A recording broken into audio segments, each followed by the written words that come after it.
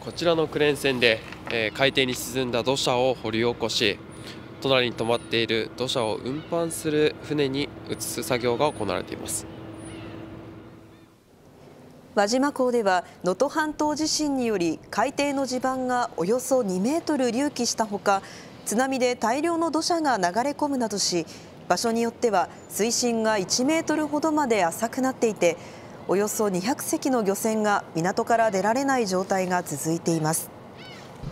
こうした状況を受け国土交通省は漁船を移動するのに必要な水深を確保するために今日午前11時から港の底に溜まった土砂を取り除く工事を始めました。船をつける場所をまず浚渫してでそれを順次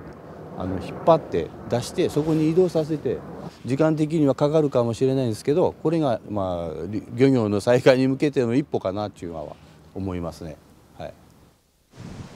能登半島地震による地盤の隆起の影響で輪島市や珠洲市の外浦海域の漁港では海底が露出するなど県内60カ所の漁港で被害が確認されています。輪島港での工事は明日以降も続けられます。